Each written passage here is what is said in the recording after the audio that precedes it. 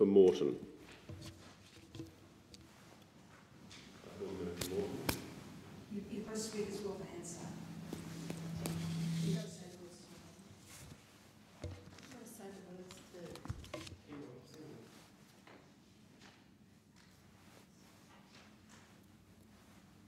I commend the member for Parramatta for her motion.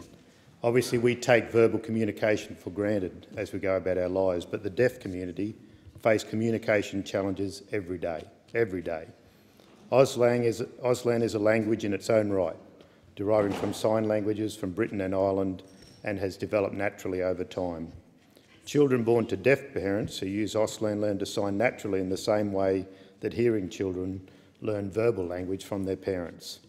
For a large part of the deaf community, Auslan is acquired as a second language during childhood, adolescence or even later in life. So I'd like to thank Deaf Services Queensland for their instruction in Auslan for the first part of my speech. And I, uh, particularly Janelle Wallen, I hopefully got it right for you. As you can see, I'm not very proficient at signing, but I have an enormous appreciation for the people who are proficient in Aus Auslan signing. Deaf Services Queensland are located in Moorooka, in my electorate, the same suburb that I live in. This wonderful organisation has been operating since 1903 and they are the leading provider of support services and information to the deaf and hard of hearing community in Queensland.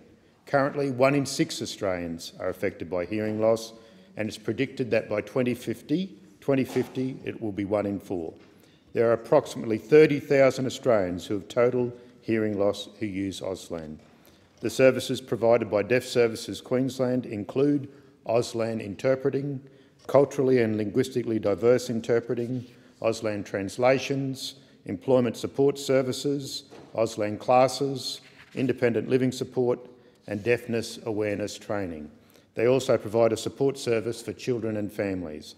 I can only imagine the challenges that having a hearing impaired child would create in a family. With 90% of people who are born with hearing impairments from hearing families, there must be a huge need for that type of support. Hearing loss would be a challenge at any age, but for children and babies with partial or complete hearing loss, it must be not only terribly frightening, but a frustration to normal childhood development. An incredibly large number of Australian children are affected by hearing loss. More than 12,000 children in Australia have a significant hearing impairment. On average, one Australian child is identified as hearing impaired every day. One in 1,000 babies is born with significant hearing loss, and by school age, two in every 1,000 children uh, have identified hearing loss. And by the end of secondary school, more than three in every 1,000 children will require assistance because of hearing loss. For these children and their families, facilities like the Yurongpili Early Childhood Development Program provides a solid foundation from which to launch their educational experience. The Yurongpili Early Childhood Development Program uh, is an Education Queensland facility for young children with hearing loss from birth to pre-prep. This free program is located on the campus of the Yeronga State School and I'm visiting uh, Jennifer, Jenny, Jennifer McKee and the rest of the team this Friday. The program offers a range of communication choices to families, including auditory, oral, spoken language in combination with Auslan and bilingual, bilingual bicultural. Last week in Parliament House, I participated in a game of silent touch football, so no sledging, uh, in recognition of the challenges facing the hearing impaired in everyday life. Rugby league legend uh, Wally Lewis, who has had personal experience of the challenges of hearing impairment through his daughter Jamie Lee, was on hand. Uh, Jamie Lee didn't play this year, uh, and certainly Wally added a bit of class to the uh, politicians running around. Uh, also, the, uh, a few weeks back, the principal of Calamvale Special School, Tom Byrne, brought his, some of his students to Canberra. I caught up with them and the member for Rankin, because they serve as both of our electorates. Vale is one of the largest special schools in, on the south side. It has 130 students.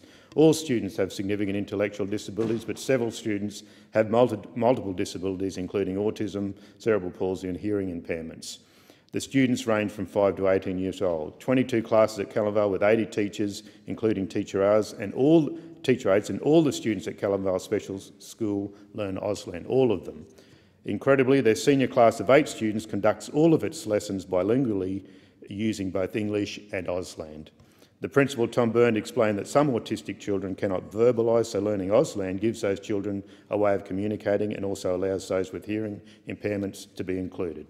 So I particularly commend the member for Parramatta for bringing this motion to the House.